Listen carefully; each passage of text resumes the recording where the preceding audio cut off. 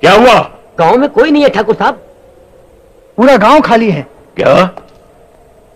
गाँव में कोई भी नहीं? जी हाँ पूरा गाँव खाली है। कहा मर गए सब गाँव वाले?